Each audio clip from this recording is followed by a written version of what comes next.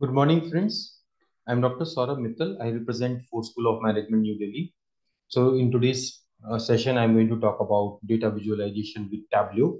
Tableau is an exciting software which is being used for business intelligence by majority of the companies. So uh, users can actually create some wonderful graphics here. You can actually convert that into some interactive dashboards. And the best part that I like in uh, Tableau is about visual storytelling. So rather than showing those plain facts and figures, the numbers, you are having that opportunity to create some wonderful graphics here. So uh, here you can actually connect to various files.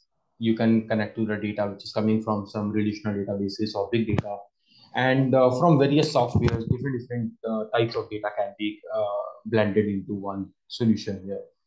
And here we can have the real-time collaboration as well. In your team, you might be having multiple people and uh, you can help them with uh, sharing your work and you can uh, ask their contribution as well. So why we are talking about Tableau? Why not some other solutions? Why not MS Excel? So there are multiple uh, reasons because of which Tableau is being preferred, right?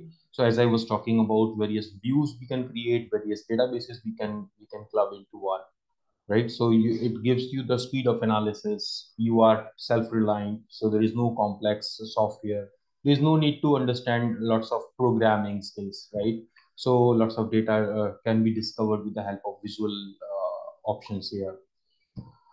So there are architecture agnostics, real-time collaboration, centralized data. So these are some important features. So how do we work upon a Tableau data analysis report? You can first connect to the data source. You can find out what are the various dimensions and measures, and you can apply some visualization techniques. So friends, when you open your Tableau software, you will see the first screen like this right? Uh, you have to uh, first select your data. Uh, so some of the data set that is uh, inbuilt with Tableau, that is Superstore. So it is having three tables, orders, people, and returns. So this data set you can uh, use for your Tableau data analysis. So I would like to start with uh, Uh, some hands-on exercise and uh, it is going to help you in understanding this topic better. I'm just starting my Tableau software. Just give me some moment.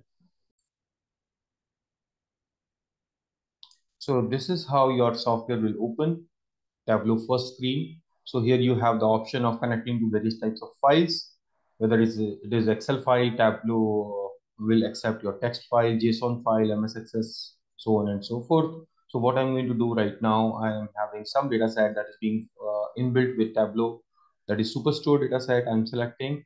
So it is uh, all MS Excel file, right? You can see here MS Excel 97 probably I'll have to reshare my screen. Okay, so I'm just selecting the option of selecting screen. Okay, I hope my screen is visible to you. So now we are having three tables here, orders table, people table, and returns table. First of all, I'll uh, work upon orders table. I'm dragging it here.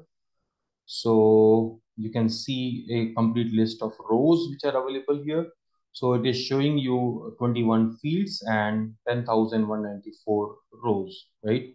And in the lower right section, you can see some of the glimpses of data, what kind of data we have, right?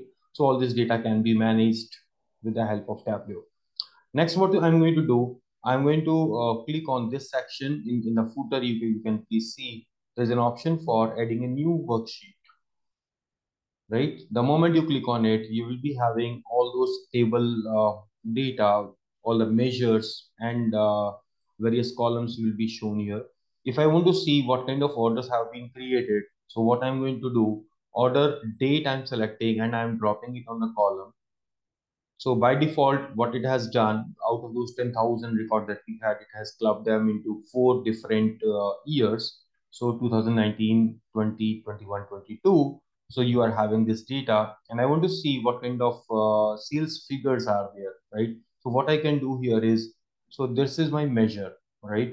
So dimension was my year and measure is sales. So this measure I'm going to select and I'm simply dropping it on the second column. So it is telling me that in 2019, uh, there was a sale of 494,000 and 2020 you had sales of 472,993 and so on. if you are interested in uh, looking at it visually, what you can do on the right side, there is an option for show me, right? On the top, you can see, and by default, you'll be having many uh, charts which are visible here. You can select any one of them. So for example, the simplest version is the bar chart. I can simply click on it and you are able to see what is the trend in the sales of your company. So uh, one more thing that I can do here is the sales uh, because for all the four years it is showing you the identical chart, right? What I can do, I can split it into uh, quarters, right? So uh, in this uh, horizontal bar of rows, you can simply click on this plus sign and what it is doing now, now your data has been split into quarters. Okay, so quarterly you can see the sales performance. Now, if I'm interested in looking at uh, what is the sales, maybe I want to highlight it with the help of colors. So I can simply select this sum and I can put it in the colors. I can drop it here. Okay, so sales figure has to be there. And now what it is saying that these bars are showing uh, my sales figures and the maximum sales will be darkest in blue color and the least sale will be lightest in blue color. If I want to change my graphic, I don't want this bar chart. I want to show it uh, probably with the help of some uh, some more graphics. So I can select it like this. So here we have the data of uh, tabular format and this data I'm going to put into rows, right? So what it is showing now, it is saying that in quarter one, quarter two, quarter three, quarter four, in 2019, this was the sales. Similarly, 2020, so four quarters sales it is being depicted here. Okay. So that's all for now. I hope uh, in the next session, uh, you will be learning some more dimensions, some more graphics, some interesting dashboards. Okay, thank you.